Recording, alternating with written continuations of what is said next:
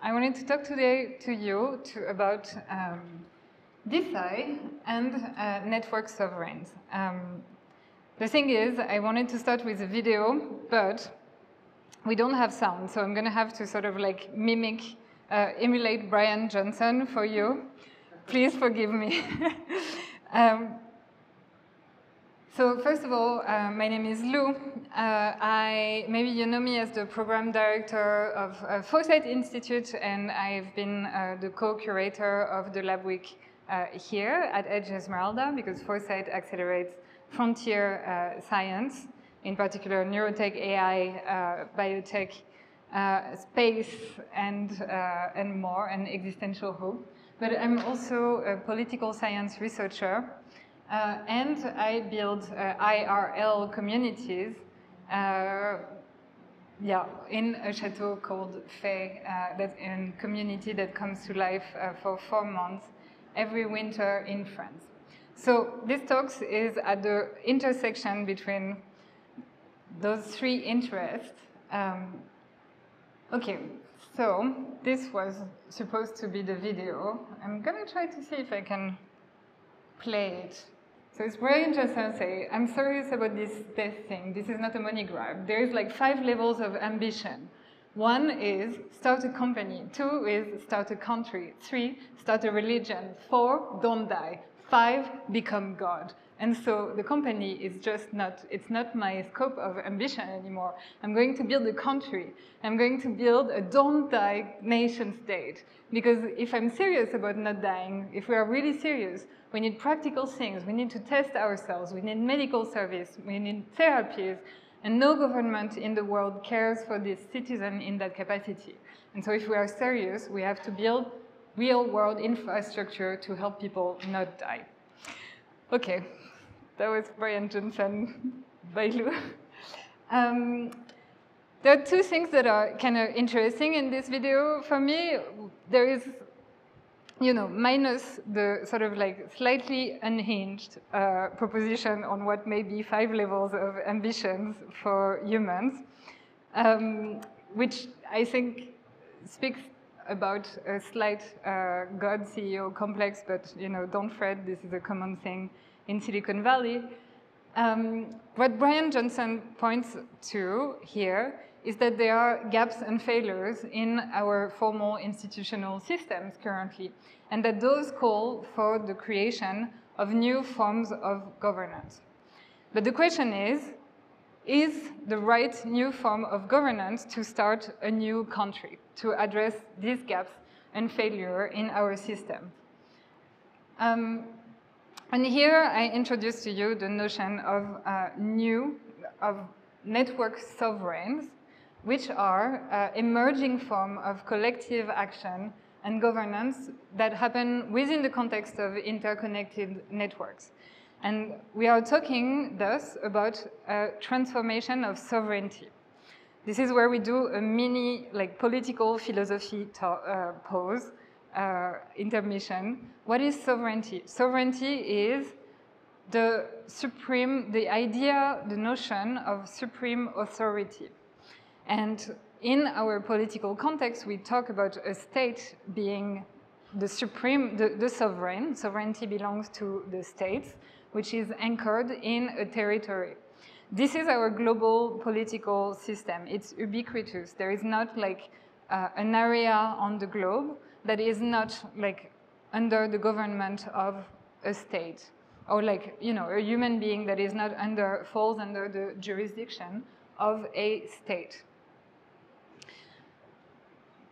But the concept of sovereignty, this idea of like supreme authority, you know, that there is this sovereign that is above the law, is actually a sort of Platonic ideal. Like in practice, it's already contested. There is, for instance, of course, you can think of globalization, where you can be like, okay, but are the like, you know, territory lines and the borders that much like, you know, in practice, what defines like authority. And you know, in a world that is more and more globalized, actually these uh, territorial boundaries are becoming less relevant. Um, there is also a big um, paradigm change with the advent of digital technologies, and I'm sure the, this community is quite, you know, familiar, at least, uh, at least uh, in um, intuitive manner with this idea. But uh, technologies of information and communication, of course,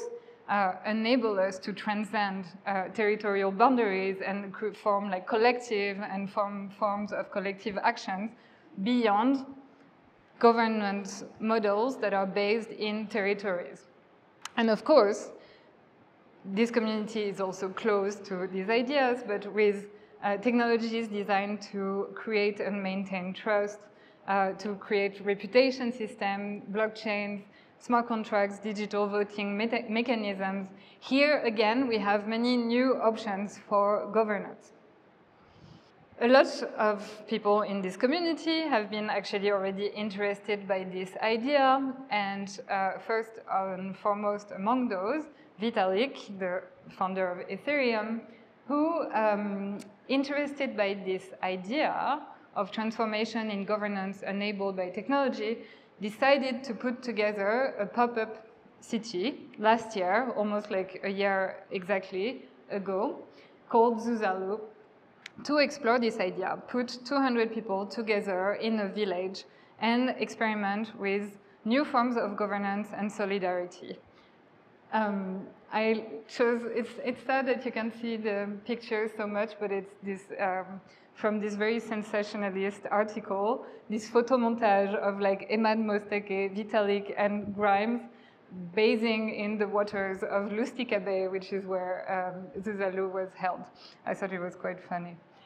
Um, Vitalik himself was inspired in like creating Zuzalu by Balaji Srinivasan, um, who is uh, this, um, I mean, who published this um, book called in 2022 called The Network State. I'm sure if many of you have heard of him, if not everyone. But um, so the idea that Balaji introduces in the network state is, okay, we are like this idea that you can create a new country starting with uh, a startup society. So you have a founder, you have a startup, you have one goal, and uh, around this goal, you start like gathering resources, more people working on it. By gathering resources and more people working on it, uh, this startup uh, society starts to acquire new real estate in different parts of the globe. Maybe it starts to have its own um, financial system, and so all uh, crypto, crypto money. Um, and by the way of like continuously growing, acquiring resources, growing its uh, real estate, and having a census arrives at this point where it is so big that it must be acknowledged by the United Nations, by the global political system, and become a state. So that is, you know, Balaji's proposition for a new governance model. Um, I think there was something really valuable, actually, with Balaji, which is it was mimetically very powerful. Like in this, you know, it had like ripples, and people started thinking about governance uh, beyond the sort of like, that, that we can create new models of governance. Um, and sort of evade maybe what you could call like nation state realism. But there are a few problems with the model that Balaji proposes. Like in particular, the book actually doesn't propose a very, very strong or convincing, or I would say doesn't propose a governance model. Um, another problem is it reproduces a lot of the issues that this very community often, or like at least the Web3 community often has with um, nation states. It's quite centralized, it, actually, in practice. It's very oligarchic. It's this like, uh, you know, sort of governance by the, or like uh, oligarchy, go governance by the funders, uh, really. Uh, it's territory-based, again, It doesn't really transcend like territorial boundaries. And my biggest concern, it's an exit-based strategy. Why is that a big problem? Um, if we are thinking about redesigning and looking for different ways of doing governance in the world of today, we have to acknowledge that we have major, major meta challenges that we need to solve globally, such as you know, the collapse, the potential collapse of our ecosystem, or um, arms races around the potential advent of AGI, and like all of this in the context of having uh, rising autocratic regimes currently and a completely, well, you know, honestly useless uh, or irrelevant at this stage, uh, United Nations. Like the UN is not really doing anything for global governance any, like anymore. And so if we go with, you know, imagine at scale, we all do what Balaji suggests we do, um, I don't think we're going to make it on a sort of humanity level. And I think that's worth considering when we think about establishing new models of governance. Um, and so disappointed, you know, by the, the Balaji proposition, or at least wanting to be like, okay, maybe we can build, uh, like iterate on this. Now we have like these minds that are open about this idea that we should do governance differently.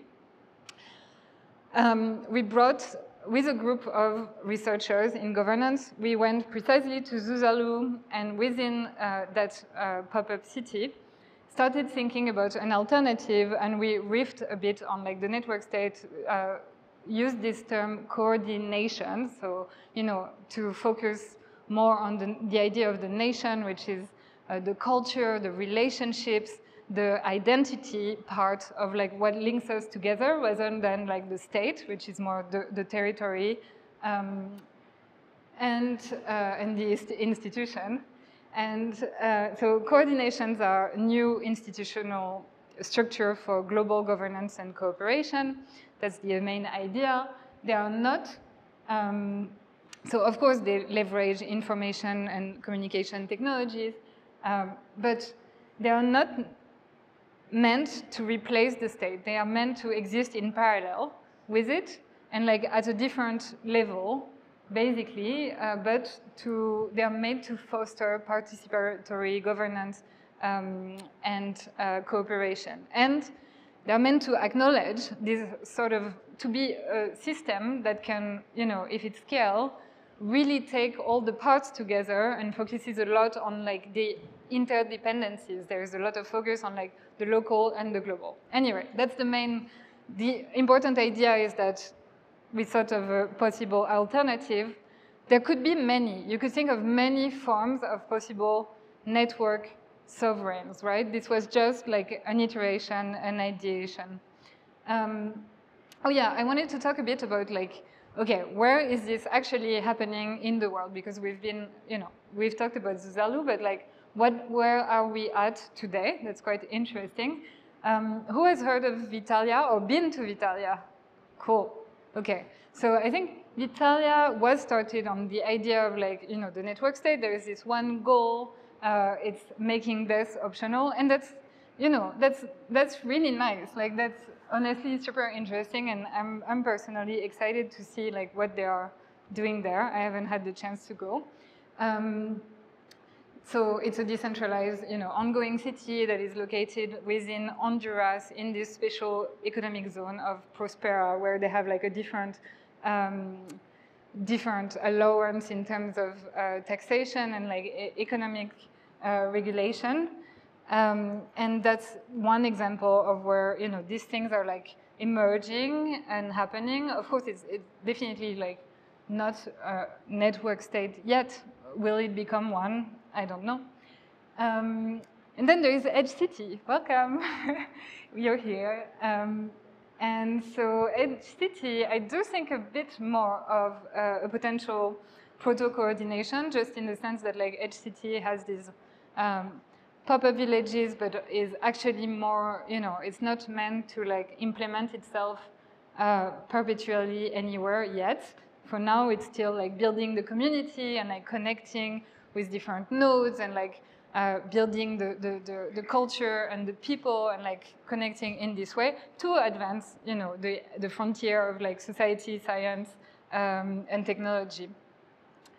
Um, as part of this, actually, yeah, next week, for those of you who will be there, we are doing a full workshop and public conference on the topic of coordination, so exploring these uh, new mechanisms of governance. The goal of this workshop specifically will be to examine like all the spin-offs that have existed since Zuzalu, and then to make a sort of like operational plan to build like a real coordination. So from typically the question would be, okay, from what we have seen today from, you know, what technology do we need, what uh, legal infrastructure do we need, what economic infrastructure, infrastructure do we need to build Edge City into a coordination. And then we can do it or not, you know, but it's a nice uh, theoretical exercise. Um, yeah, so to come back to the sort of first question, what are the opportunities for DeSci in the context of network state? Um, well, you know, you can go the Bryan Johnson way and we can have these wonderful rejuvenation protocols. And I'm not saying we can't have these things. This is, of course, very important. Um, but it's not important if we are, you know, extinct. Um, so I think there are opportunities for DeSci into really rising to the occasion. And like, we are thinking about like rethinking the, the whole structure of like incentive mechanisms for science and the world. And I think in doing that, like the super important thing is to remember, you know, that there is maybe an opportunity in like finally achieving planetary coherence, you know, having like an integrated ecosystem that makes it so that we don't, you know, have this, yeah, bad way of like stewarding the ecosystem in, in general and like uh, negative externalities that we don't know where to put, but will come back to bite us at some point, pretty much soon. Even sooner than this, personally, I'm very worried about uh, you know, the potential advent of AGI, I've mentioned it already uh, at the beginning of this discussion. Um, but, you know, there are many ways this can go wrong, whether it's uh, arms races between uh, countries that are competing instead of cooperating within, you know, the advent of this technology. That's a big risk. Um, and yeah, so, you know, we'll decide be, I don't know if you can see very well. This is a, this is a very janky montage that I did with this picture where you have like the piglet that is going to be eaten by the human that is going to be eaten by the robot. And then, yeah, maybe this I will take on that challenge. um, yeah, well, you know, of course, I think about this that actually it would be nicer if we befriend uh, the robots, you know, I don't think, I don't like to think about this actually in, in competitive or like aggressive uh, terms, but, you know, that we can change our, maybe not change our nature, but um, merge or uh, befriend them in a way that um, would allow us to do wonderful things, like become cool cyborgs, uh, live forever, explore the universe way beyond anything we can know and fathom at this stage. Um, that's it for the introduction of this uh, DeSci session, and I'm really excited that a lot of speakers this afternoon will be talking to us about uh, specific cases of DeSci, also in the context of um, network sovereigns like, like Tristan just after. Thank you.